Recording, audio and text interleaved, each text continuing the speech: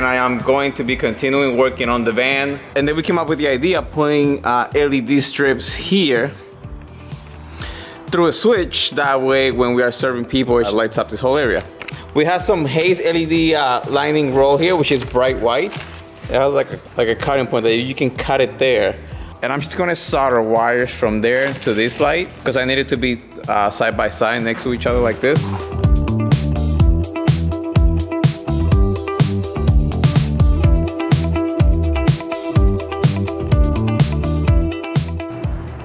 Oh, baby. Is it working? Oh, she works.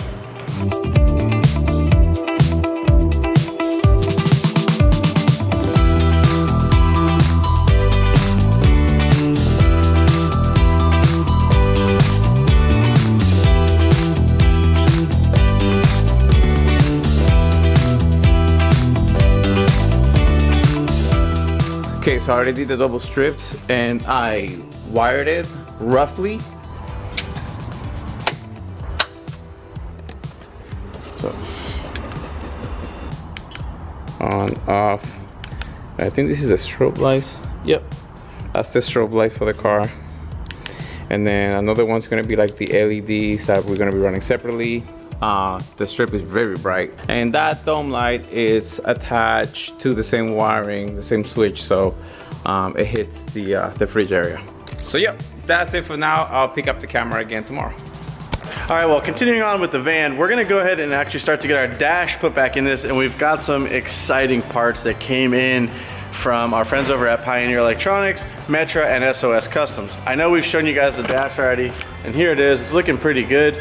Uh, this is where the vents used to be, and this is where the head unit is supposed to be. We had them block that off, and we've got a Ricky over Hey. here. So Ricky and I decided to go ahead and order up some five and a quarter grill covers. And so what we're gonna do is we're gonna drill holes in the top of this dash and actually mount these to allow the sound to come out instead of forcing it through the uh, vinyl material that we have on the dash. So we picked up these boom mats. They're this little uh, speaker, I guess it's like a kind of an enclosure. Yeah. It's made out of a thick foam. Really thick foam.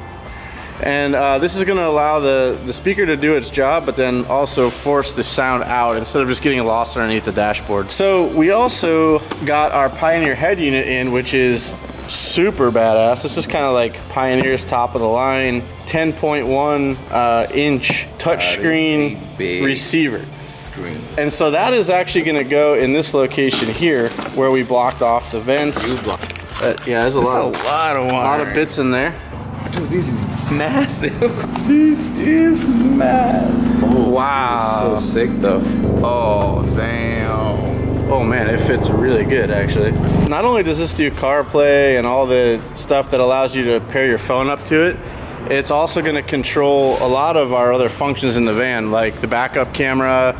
It's ready for steering wheel controls, which we are going to add Metra steering wheel controls to the column. In order to get this mounted in here properly, Metra sent us over um, a couple of their head head unit kits, so they weren't sure which one that we were going to be needing. There ain't nothing to it but to do it, so we're going to get cracking.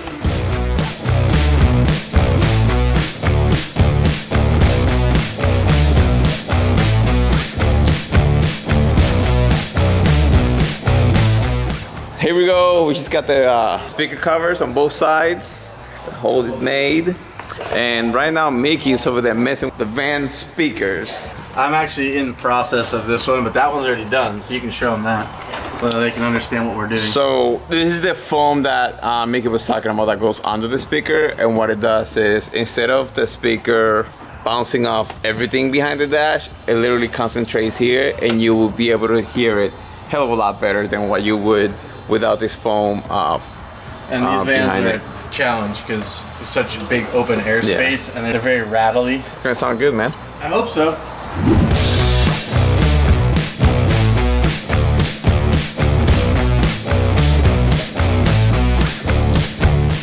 All right, so Mickey had a chance to install these tweeters yesterday, but he's scared.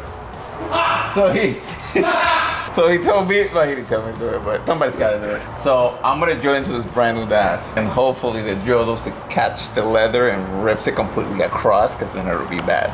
So I already showed you this sick ass one inch tweeters. It's gonna be installed right here. Like this, it's gonna be facing the uh, passenger and the other one's gonna be facing the driver.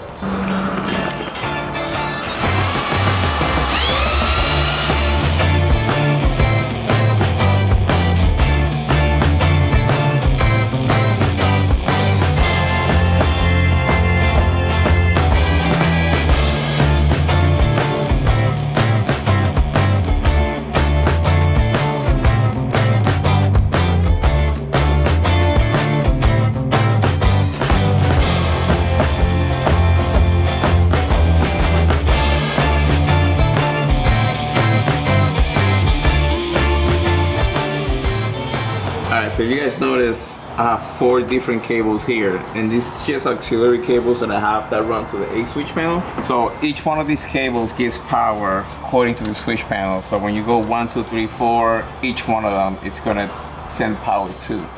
So this is something that I'm doing now and I ran forward in case we are gonna start adding more stuff to the van. The wire is already ran and all we gotta do is just grab it from here and take it to whatever source we need to. Ooh, what do you think right there?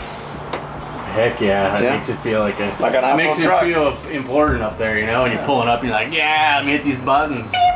Knight Rider activates. I'm ready, Michael.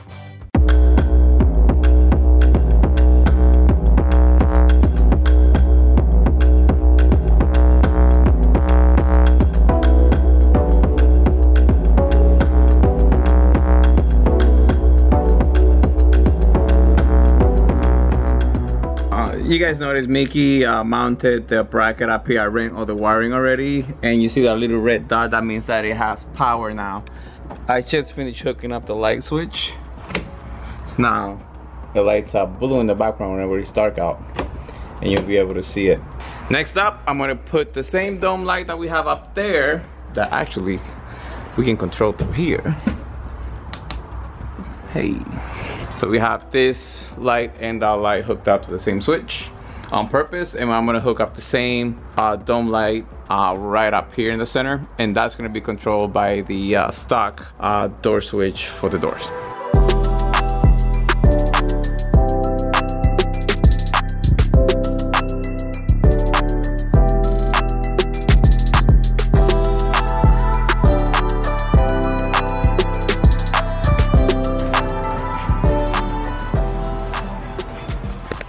So you can see this is one of those cool touch uh, touch panel ones. Literally just touch it, and then it has like different uh, dims options for it. So that's pretty cool. And what I keep forgetting is this fan up here. This is what's gonna, because right now it's like I'm feeling it's extremely hot and humid in here. And if I would have had this on, that would change everything. At the same time, I keep forgetting to run this thing. And this is gonna be one of those eight switches that we have up there. As you guys know, I already ran those wires. So I'm gonna grab one of those wires. Uh, I'm gonna use that wire. I'm gonna run it up and ground this as well. And I'm gonna put it to one of those uh, switch panels. And we're gonna test that today.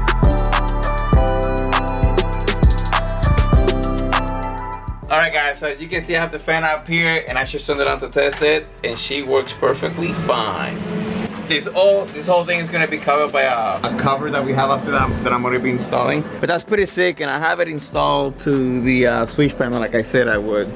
So it's working and now it's not. And it already feels a million times better. It was super hot in here, super humid, and now it's working perfectly fine. I am in the back of the ice cream truck with Big Jeff. Say hi, Big Jeff. What's going on? Like we said before, we have the two batteries back here.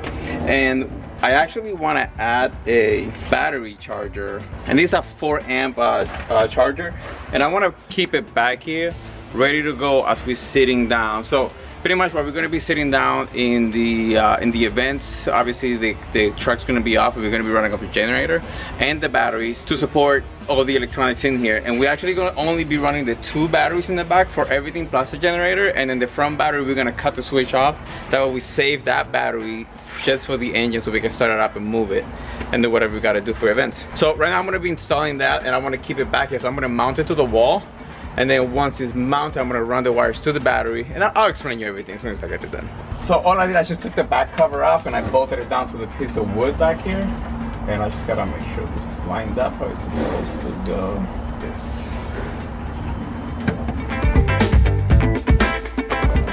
That's it.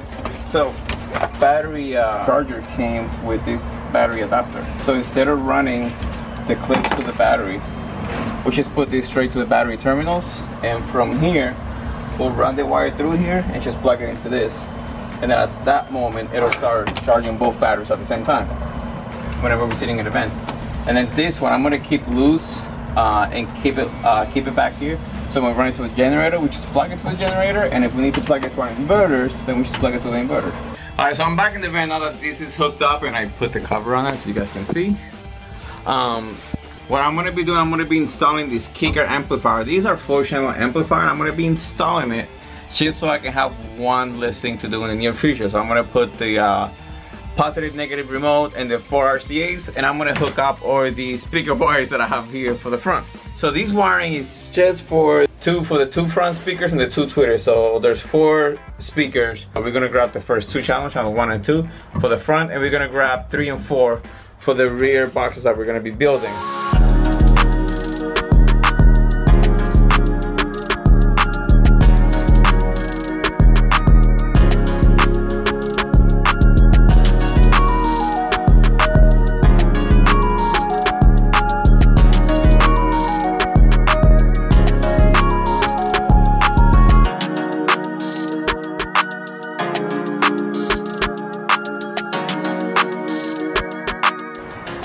So this is the end of the video. As you guys can see, Mickey put some Downstar hardware. I hooked up the uh, eight panel switch on top. We have some LEDs working. We have the fan working. We have the back one working. And we did a lot more update on the rear. Uh, this is actually working. It's already charging the, the rear batteries. Uh, and everything is working properly. We also hooked up the fan on top right here. So in order for it to work, it has to be open. And then we press the switch. And boom, it's working. What else did we do? We ran a lot more wiring. I did hook up the amp back here. It's hooked up, it's thrown in the corner. We're not gonna test it yet because we still have to run the deck. Uh, once we install the stereo, which is gonna be the next thing I wanna be doing, uh, we'll be able to at least test the front speaker to make sure that all four of them are working. The dome light got hooked up as well, so uh, we are making a lot of progress. All right, guys, thank you so much for tuning in. I'll see you in the next one.